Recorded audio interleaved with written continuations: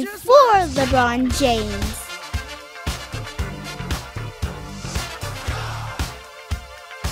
Before Steph Curry.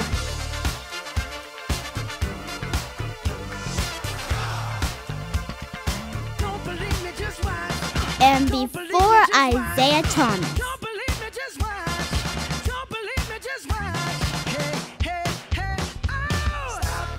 There was Pittsburgh's own Chuck Cooper, my grandfather, out of Duquesne University. Born in Pittsburgh and attended Duquesne University, Chuck Cooper broke the color barrier, becoming the first African American to be drafted by an NBA team. Red Auerbach Celtics selected Cooper in the second round of the 1950 NBA draft. He made an immediate impact during his rookie campaign, leading the Celtics to their first playoff appearance in three years and was fourth on the team in scoring. Cooper played four years with the Celtics before being traded to Milwaukee and ended his six year career with the Fort Wayne Pistons. He helped his team reach the playoffs in five out of his six seasons, and his lone NBA Finals appearance came in 1956 with the Pistons. In 1974, he was inducted into the Pennsylvania Hall of Fame. Charles Chuck Cooper, the man who officially integrated professional basketball, passed away in 1984 at the age of 57.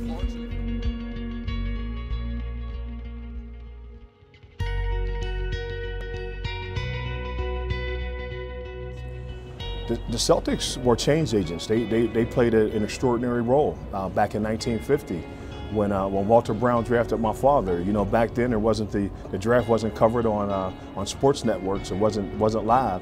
There was a smoke-filled room, my understanding, in Chicago. And um, Walter Brown's turn to pick, it was the 14th pick of the second round in 1950. And Walter Brown said, I'll take Charles Cooper out of Duquesne University.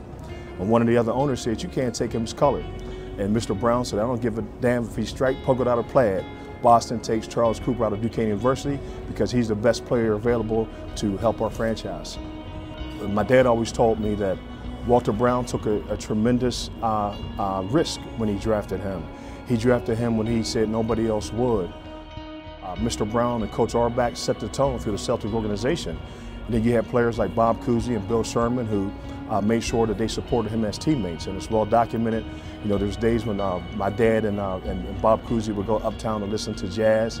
Uh, when, when my father might have been denied the opportunity to eat at the restaurant uh, with the team, or stay at the same hotel, or share a cab rides. So to have that type of individual support from guys like Bob Cousy was tremendous. They call them heroes among us.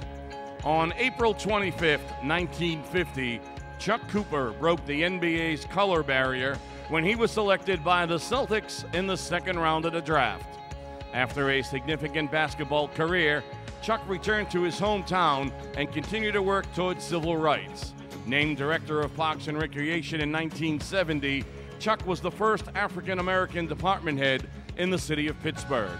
Today, Chuck's legacy lives on through a foundation named in his honor and established by his son that provides graduate school scholarships to underserved students.